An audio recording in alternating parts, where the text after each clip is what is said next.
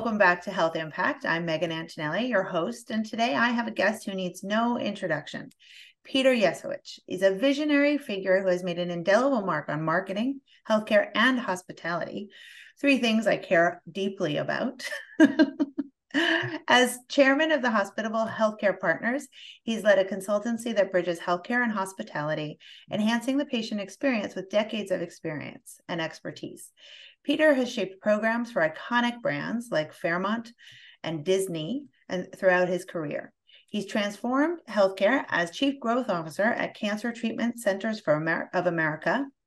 And a master in the field, he's co-authored several books and that and is also a visiting associate professor at Cornell. His journey from Cornell to, to Yale to Stanford has shaped marketing, healthcare, and hospitality. And we're honored to have him here today to talk to us about his new book, Hospitable Healthcare Just What the Patient Ordered. Welcome, Peter. Thank you for joining us. Delighted to be here, Megan. Thank you.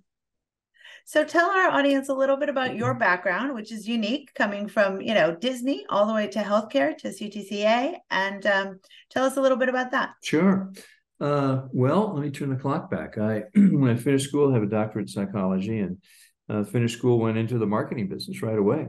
Uh, service marketing and the hospitality business, as you mentioned, had a wonderful run there for 30 plus years, working with uh, brand names that your listeners would recognize.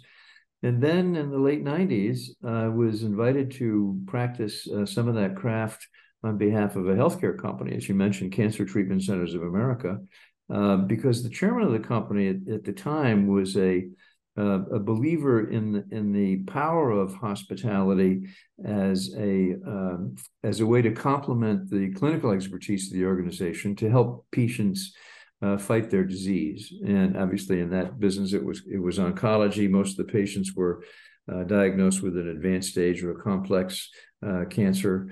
And um, so I did that for 10 years. I uh, so hung up the cleats, so to speak, in the traditional marketing business, and I, I put a healthcare hat on. I learned so much about not just the business of medicine, but the practice of medicine as it relates to oncology. And and it really it served to allow me to kind of bear witness to what inspired this book, which is the the importance of hospitality and the delivery of care and how that impacts patients. Yeah, I think with oncology so much so because they're coming, you know, they have to come back and you know so many times for treatment. I mean, that's one of the you know really the most arduous things to go through. So I imagine you know I can see why that would inspire. Tell me a little bit about you know the specifics there in terms of you know where you felt the need was and and really what some of those principles of hospitality that you were able to apply sure um, you know one of the things that that i observed was the very thoughtful way that at, at ctca they really anticipated the level of anxiety that patients would bring to their engagement you know from the moment that the first phone call came in uh, and and first thing I did actually, the first day that I, I joined CTCA, I, I went to the call center. I put on a headset, and for about eight hours, I just listened to conversations that were coming in over the wire, and it was uh, amazing to me to listen to the the sense of anxiety, the desire for information, uh, uh, and guidance, and so forth that that was coming from you know prospective patients, and then and how the incredibly well trained counselors they had there would respond to those questions. But that was just the beginning. Uh, and then the first time I entered a hospital, it felt like I was walking into the lobby of a JW Marriott hotel. You know, there was no uh, uh, clinical uh, white, you know, color palette. Uh, it was all neutral tones. There was a grand piano in the lobby uh, and, you know, very soothing music, a wonderful aquarium. The lighting was adjusted appropriately. There was no front desk. You were greeted personally by uh, a, a, concierge. Uh, I mean, the whole experience was completely different, and um, and even right down to the the meals in the restaurant, to the accommodations for loved ones that were there with patients who were undergoing treatment, um, and it was a culture. Uh, that was born of an idea that the chairman had, and this was brilliant. And he called it the mother standard. And what that meant was um, that every employee of the organization, from a van driver to a uh, to a surgeon, um, was thoroughly tested uh, and vetted to live the mother standard, and that was uh, that they would deliver a level a level of care that would be uh, appropriate for your mother in the event she were to get a cancer diagnosis, and they lived that. And anyway, I, I observed that for ten years. Uh, I, I, watched the impact that had. Uh, I was uh, privileged to ghost. Um, uh, many rounds with uh, clinicians, uh, and I would listen to conversations with patients, many of which were extremely difficult conversations that were uh, undertaken. But I witnessed firsthand what the hospitality aspects of care delivery did to allow them uh, to um, uh, to receive that care in, in as positive a way as as possible. Mm-hmm.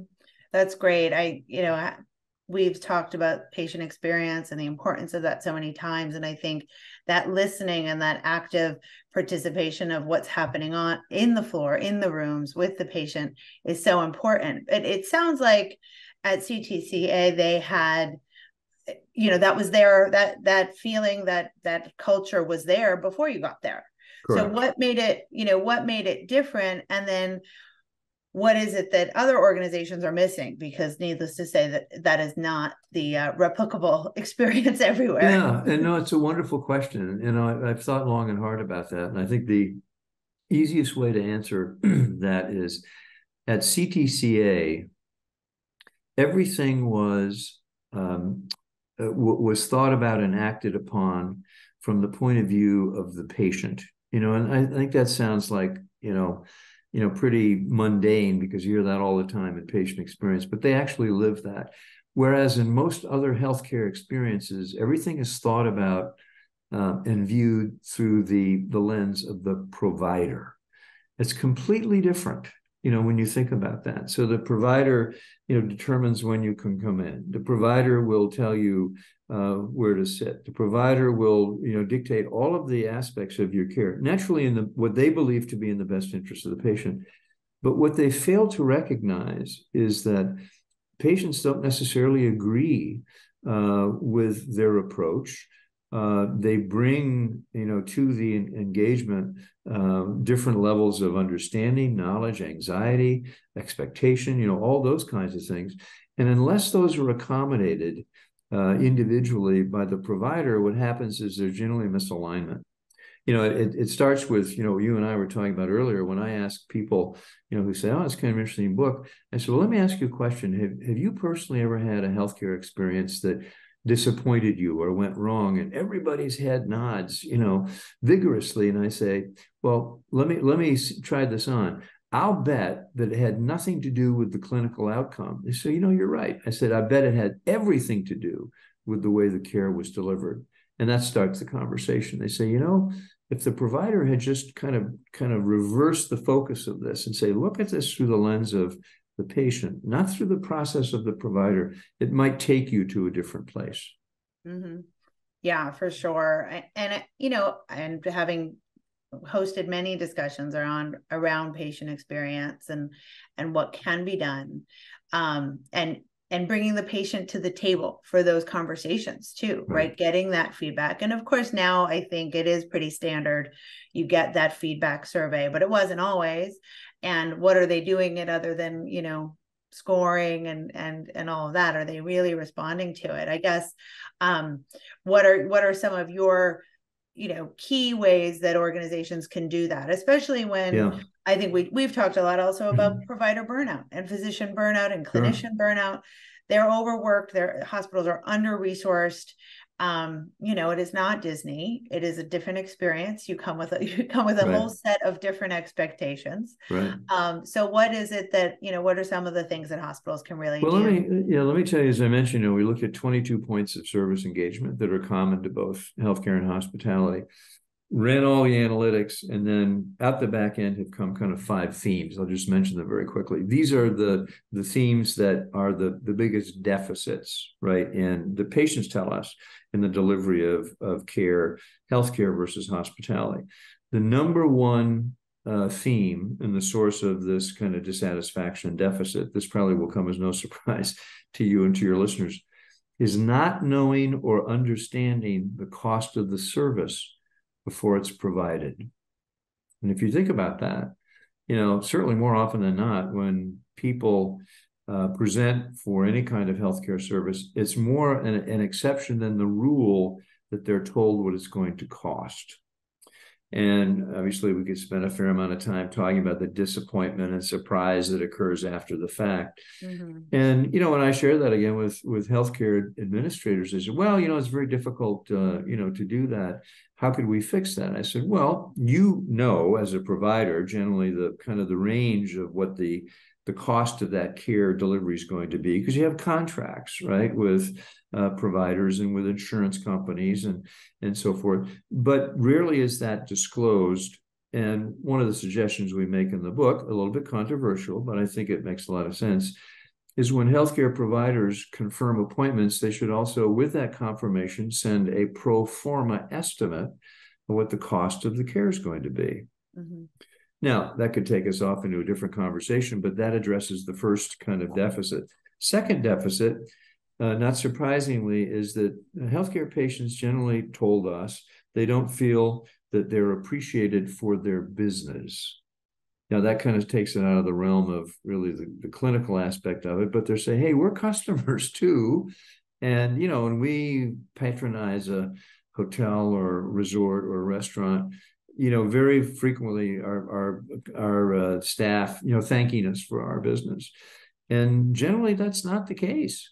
You know, when at least that's what consumers tell us when they consume healthcare, and believe it or not, that's the second kind of source of this kind of deficit in, in the delivery of care. The third area that came out of all the research was their disappointment with the whole uh, reception and the arrival experience and the arrival environment and whether or not the arrival experience is welcoming. Do people feel welcomed? You know, we all have jokes about, you know, showing up and we're looking through the, you know, the plastic uh, divider and there may be some rare eye contact as the receptionist is focused on the computer screen. And then you're handed the dreaded clipboard, you know, and you've got to go sit down and fill out the, and you say, wait a minute, I just filled that out three months ago when I was here. We I understand it, but we need to have you do that again. Mm-hmm. Anyway, so that whole experience and then whether or not the people they interact with there make them feel welcome or make them feel like they're genuinely interested in serving them. That's a training problem. Mm-hmm. Fourth theme logistics. We all have a story about trying to book an appointment that's been a headbanger, right? Where we say, gee, you know, uh, well, sorry, we can't accommodate. Just today, I had an example of was trying to get an appointment with a dermatologist. And I was told, well, Our dermatologists are very, very busy, nothing available for four months. And I thought mm-hmm. myself, four months, that's incredible. I said, well, why don't we start this way? Why don't you tell me what is available, and then I'll tell you whether or not I can accommodate that.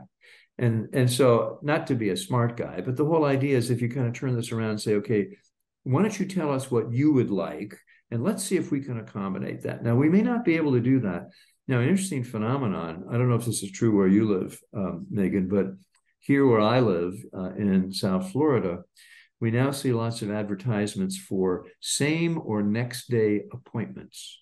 Mm-hmm. And you say, gee, that's kind of interesting. How is that possible? Particularly for really complicated, you know, diseases like cancer, you know, it's the same day appointments.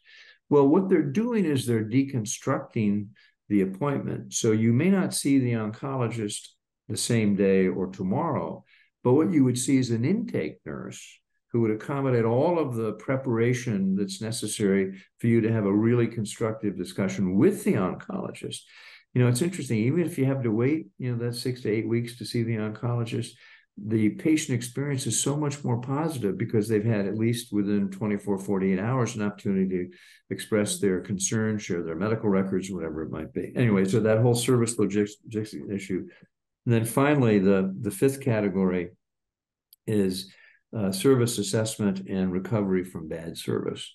Uh, you know, if you have a horrible anniversary dinner in a restaurant, what happens? You know, you're going to get complimentary dessert and a cordial, uh, mm-hmm. uh, right? Maybe they'll take the entree off your bill. If you have a bad night in a hotel, they say, "Well, tell us what happened." The front desk clerk is the one that will go ahead and give you the credit. Right. You got a problem with a with a healthcare uh, you know procedure that went wrong what happens then when you try to dispute that well you go you go into a black hole right, right. and you may in, involve with some kind of extended debate uh, with the insurance company anyway we all know the outcome of that Right. Uh, why? Why do why does that happen? Well, we could talk for hours about that too. But those Right. are the I five mean, deficits. And I think yeah. so that last one and that first one where you get into some of the, you know, elements of the problems that are sort of out of the control of the health system because you are involving the insurance and the coverage. right. However, I mean, to your point, like with cost, when I go to my dentist or my oral surgeon or my orthodontist, they know and they are aware that people kind of price shop Mhm. because they know that the coverage is, you know, we all know that our coverage is, Sure. isn't going to be full. So they do do all that stuff for us, right? They contact the insurer and they say, okay, this is going to cost this and this is going to cost that. Right. And, you know, and, and they're able to do it. So that service is part of what they provide, knowing that there's, you know, that that choice is being made. And I think, you know, with elective care and non-emergent care, it is a lot easier, of course, Correct. and and health systems, you know, can certainly get that. And I think, you know, we talk a lot about technology and automation, and these are things that, you know, those contracts are signed. The, you know, it's not it's not like that, you know, we're negotiating, you know, new new contracts with the payer every time someone walks in the door. Yeah, and the reality is that, you know, for most of most, if not all of those elective procedures, that there is a prior approval that is given by the insurance company, you know, before the appointment is confirmed. So, you know, when I when I make that suggestion to providers, they say, well, you know, you, you can't do that because we don't know what we're going to find when we get in there. I say, I understand that. So you do a pro forma estimate with the disclaimer that the the range estimate that you've been given is subject to change based on tra- tests that need to be conducted, Right. uh, the examination and so forth. And and I think just just giving patients that that that preliminary look at what the cost might be, according to our work, would go a long way toward resolving the deficit, the number one deficit that they tell us they have in, in the consumption of healthcare, which is not knowing the cost or not understanding the bill. Right. And what's your recommendation to health systems in terms of how to do this? Do you tell them, you know, start with, you know, start with the finance department or do you start, you know, because it sounds like at CTC it was a it was a culture of service that they built in across the organization. Correct. Correct. But some organizations may not have the resources to do that. What are the, you know, what are your sort of best practices or advice? Yeah, that's a great question, and and it's a complicated answer, but it requires the you know the integration of first of all a commitment from senior management that says we believe patients have a right to know, and that we want to, to the best of our ability, want to give them that. By the way, you know that uh, the proclamation that uh, Trump administration uh, endorsed back in 21 about hospitals having to publish now uh, the the prices for 300 common procedures, you know, on their websites. And even as of last week, uh, press reports in, in the healthcare trades is a lot of hospitals are still not compliant with that. They're still fighting it, you know, because the idea is, you know, we've all read stories about, you know, people who shop a, an MRI or people who shop a colonoscopy, you know, and they find these incredibly wide variances in prices. Well, the whole idea is the providers know what it's going to cost them to, within reason, you know, to deliver that care. They just don't disclose it.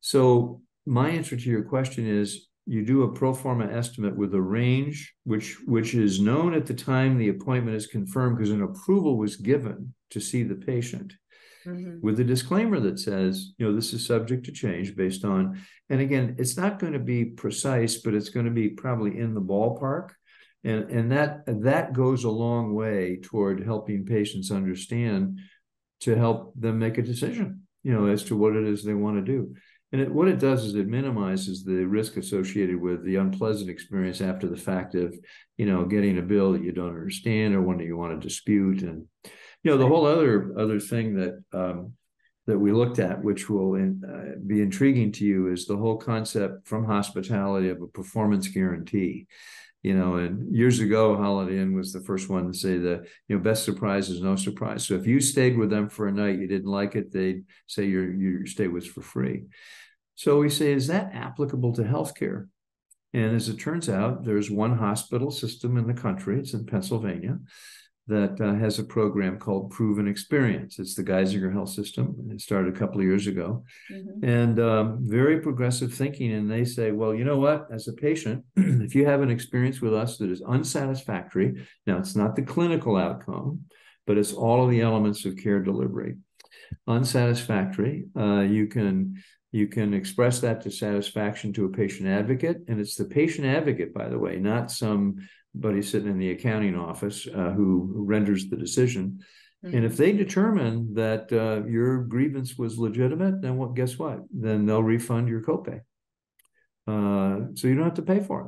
And we thought, right. wow, that's really an interesting idea. Why isn't it more health systems don't pursue that? Right. Because that's a testament to their belief in their own credential, you know, that yeah, they really do. Sure. Anyway, that's so amazing. there's a lot of good stuff in the book on, yeah. on some of no, those I'm, principles. Yeah. Yeah. I mean, that's amazing. And it is, I mean, it's kind of in this, I mean, the discussion of cost transparency has been a long, long one and, and hospitals are so slow to come to the table with those with those prices as you know uh, and and if you think about the service and the what you get and you know whether it's airlines you know which are notoriously not the great greatest in front of us or service but ritz-carlton to um you know starbucks right? I mean right. the cost is there. It's transparent. You you know it's not um and it does reduce your anxiety, right? You know that it's not, you know, you're not going to get this big bill at the end. Whereas when you go to a restaurant and the prices aren't on the menu, you're right. always a little nervous. but you know, it's really interesting. One of the things that that uh, has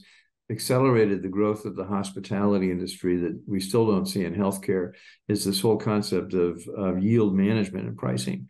And you know, the whole idea is that, as you know, when you go online to book a hotel room, you have a choice as to when you want to go because the prices are different, uh, which day of the week, you know, uh, which room you want. In the airline business, you have choices between different times of day and where you want to sit and all those kinds of things. In healthcare, you have no choice. and we, we ask the question, well, why is that? Wouldn't it make more sense if um, you know healthcare consumers had some element of choice so they could decide well i'll go in for a scan on a saturday morning not a tuesday morning if i can get a 10% discount or something you know? So the whole that's a whole revolutionary thinking around that as well. Right right. That would be amazing. Yeah.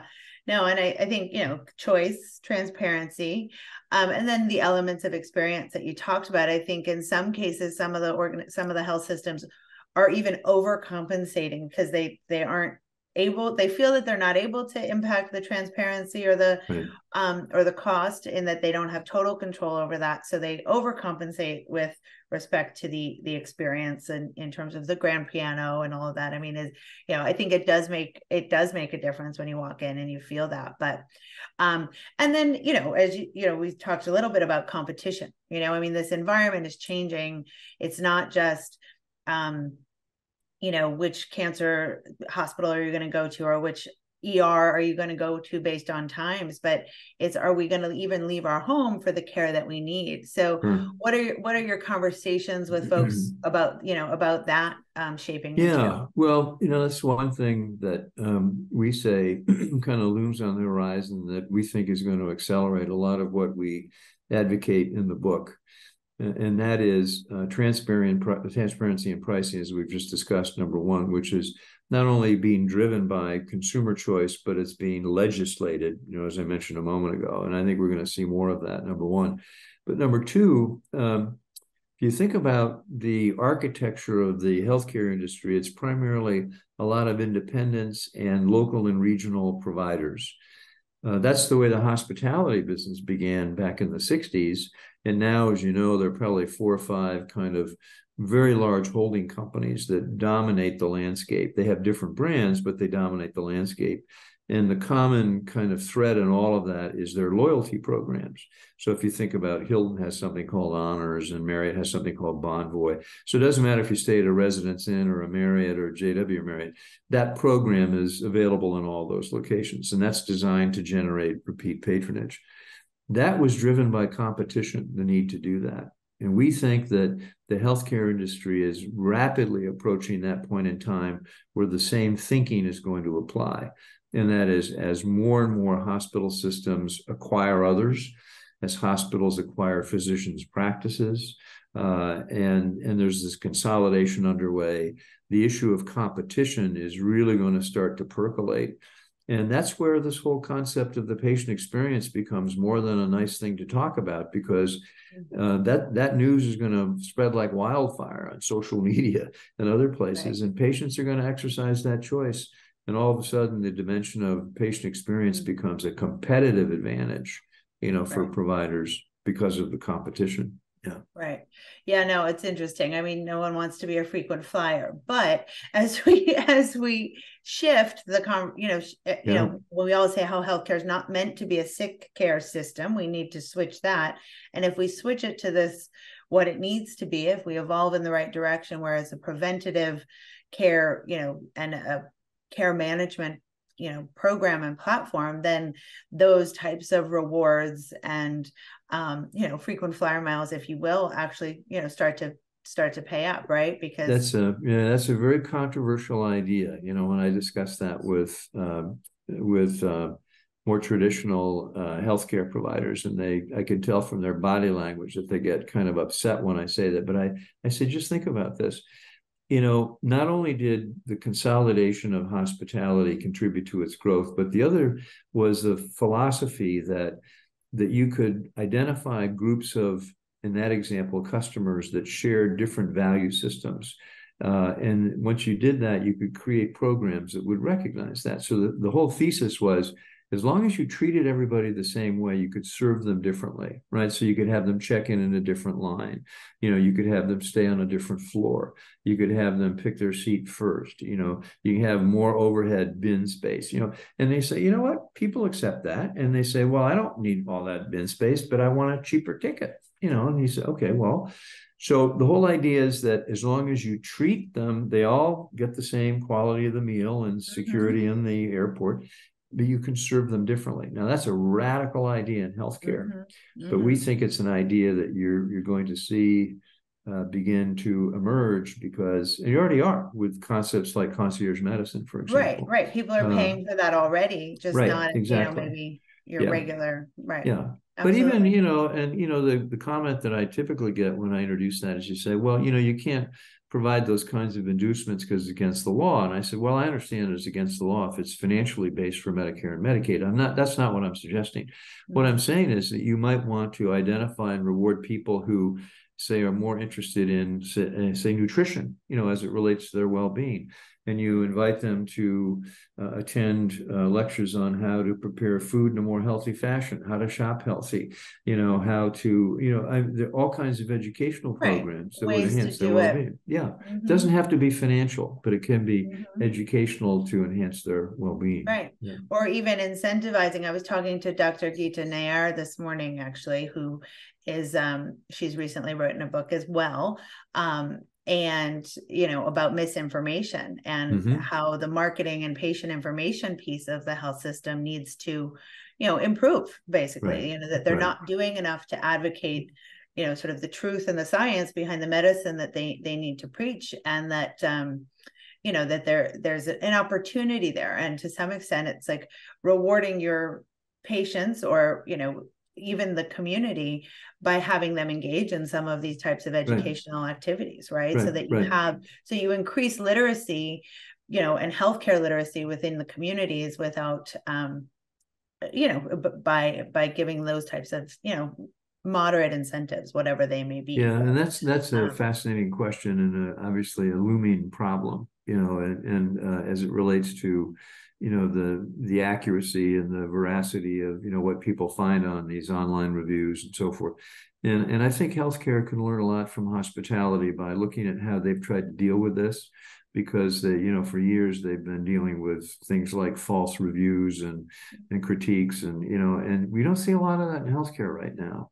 Uh, i suspect we will as competition becomes more prominent but uh, you're absolutely right. That's a it's a critical issue all the more reason why um, you know transparency is is critical because uh, the truth has a way to out.